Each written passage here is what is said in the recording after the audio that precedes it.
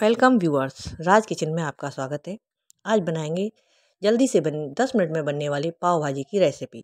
ये बहुत ही स्वादिष्ट बनती है, बिल्कुल मार्केट जैसी। आप एक बार इसे बना करके देखें, यह आपको बहुत पसंद आएगी। इसके लिए हम दो मीडियम साइज़ के आलू लेंगे, जिनको अच्छी तरह से धो करके, काट करके टुकड़ों में कुकर में डाल देंगे। एक कटोरी फ्रोजन मटर का यूज़ किया है। अगर आपके पास हरी मटर हो तो आप वो ले सकते हैं। ढाई सौ ग्राम गो, फूल गोभी का प्रयोग किया है। अगर आप इसमें गाजर का प्रयोग करना चाहें तो एक गाजर डालें, ज़्यादा गाजर पाव भाजी को मीठा बना देती हैं, इसलिए आप इसमें एक गाजर का प्रयोग करें। अगर नहीं है तो आप स्किप भी कर सकते हैं, मेन सब्ज़ियाँ यही हैं। अब एक गिलास पानी डाल करके मतलब लगभग दो कप पानी डाल करके इसे कुकर को गैस पर रखते हैं और पाँच छः सीटी आने तक पकाएँ। जब अच्छी तरह से ये और प्रेशर को रिलीज़ हो जाने दें, जब इसे खोलें। अब कढ़ाई को गर्म होने के लिए गैस पर रख दें। उसमें एक चम्मच, एक बड़ा चम्मच रिफाइंड ऑयल डालें। तेल को गर्म होने दें। अब उसमें एक बड़ा टुकड़ा बटर का डालें और बटर को अच्छी तरह से मेल्ट हो जाने दें। अब इसमें आधा चम्मच जीरा डालें। जीरा डालकर तड़कने दें। जब जीरा अच्छी तरह से तड़क जाए, तब आप बारीक प्याज काट करके रख लें। व्यूअर्स, उम्मीद करती हूँ आपको मेरी रेसिपी अवश्य पसंद आएगी। पसंद आ रही है तो लाइक का बटन क्लिक करें और मेरे चैनल को सब्सक्राइब करना ना भूलें, जिससे आपको नई नई रेसिपी की नोटिफिकेशन समय समय पर मिलती रहें। आप इन्हें अपने व्हाट्सएप ग्रुप में शेयर कर सकते हैं। उम्मीद करती हूँ आपको मेरी रेसिपी अवश्य पसंद आएगी। यहाँ मैंने दो मीडियम साइज़ के प्याज लिए हैं। उनको अच्छी तरह से धोकर के बारीक काट लिया है। बारीक काट करके उन्हें अच्छी तरह से भून लें। यहाँ दो टमाटरों का प्रयोग किया है। टमाटरों को भी आप अच्छी तरह से बारीक काट लें और उन्हें भून भून लें। इन दो भुनने में कम से कम चार पाँच मिनट का समय लगेगा और इन्हें अच्छी तरह से गल जाने दें। और दो बारीक शिमला मिर्च को भी मैंने बारीक बारीक काट लिया है।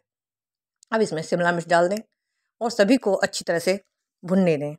इनको भुनने में कम से कम सभी को पाँच से छः मिनट का समय लगेगा। जब ये अच्छी तरह से भुन जाए तो इसमें एक बड़ा चम्मच पाव वाली मसाला डालें। अब एक चम्मच देगी मिर्च का मसाला डालें और आधा चम्मच लाल मिर्च डालें, रेड चिली पाउडर और सभी मसालों को अच्छी तरह भुनने दें।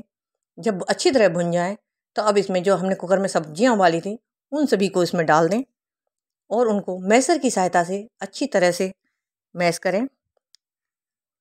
आराम से इन्हें मैश कर दें, जिससे कि अच्छी से ये मसल दें अगर आपको ज़्यादा गाढ़ा लगता है मिश्रण मान लो पानी जल गया है या कुछ है तो आप इसमें पानी अपने हिसाब से मेंटेन कर सकते हैं। मैंने यहाँ एक कप पानी और डाला था। इसकी कंसिस्टेंसी आप अपने हिसाब से मेंटेन कर सकते हैं। आपकी इतना रहने दें कि इसमें बारीक चंक से बने रहें। अब इसमें एक चम्मच नमक डालें। नमक, एक चम्मच कसूरी मेथी। उसको यूँ ही डाल दें, भूनने की ज़रूरत नहीं है। और सभी को अच्छी तरह से क्रश होने दें। अब इसमें एक बड़ा चम्मच धनिया डालें। हरा धनिया आप अपने सिद्धानुसार ज़्यादा भी डाल सकते हैं और एक बड़ा टुकड़ा बटर का डाल दें और एक नींबू का रस निकाल करके अच्छी तरह से निचोड़ करके उसे डाल दें। आपकी पाव भाजी की रेसिपी तैयार है। यह भाजी बहुत ही स्वादिष्ट बनी है। आप इसे एक बार ट्राई करके देखें। अब एक तवा गरम करें। तवे पर एक बड़ा टुकड़ा मक्खन का डालें और उसे मेल्ट होने दें। जब वो अच्छी तरह से मेल्ट हो जाए तब उसमें पाव भाजी मसाला डालें और हरे धनिए के दो चार पत्ते डालें और जो पाव लिया है, पाव को बीच में से काट लें और उसको दोनों तरफ़ से उलट पलट करके अच्छी तरह से सेक लें। आपकी पाव भाजी मार्केट स्टाइल बिल्कुल तैयार है। आप एक बार इस तरीके से बना करके देखें। आपकी भाजी बहुत ही स्वादिष्ट बनेगी। हर कोई आपके हाथ तारीफ़ करेगा। आप इस, एक बार इस तरीके से बना करके देखें। Thanks for watching my channel